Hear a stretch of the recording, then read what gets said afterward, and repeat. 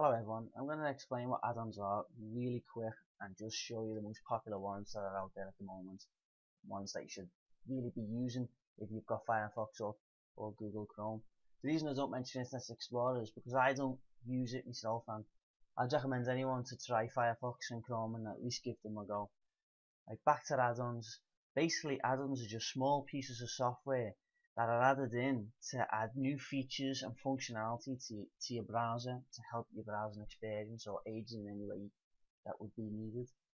The most popular ones, as you can see, is 1 to 10 there, and number 1 is AdBlocker Plus. I'd recommend anyone to add this onto your, to your browser immediately because it just it, it, it makes the browsing experience a lot more pleasurable for the people out there that like to download uh, videos from certain websites, you can use video downloader.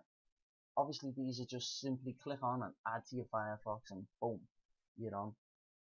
Uh, what else have we got? NoScript. Another favourite of mine. It just stops scripts from running in the background. You can allow them and disallow them. But this this can be quite strict, so I'd at least try AdBlocker Plus, and then when you're feeling a little bit more daring, go on to NoScript. But it's not essential by any means. Other ones is just Gmail to add Gmail into. You can see here I have HD.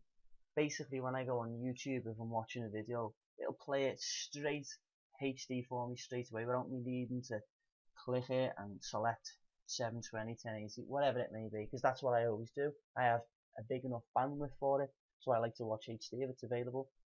Now for people that use it on Chrome, it's not called add-ons, it's called extensions it's the same thing. But they have the same amount, I'm sure. Maybe Firefox is a, a bit more, but let's just see if AdBlocker Plus is here. It should be.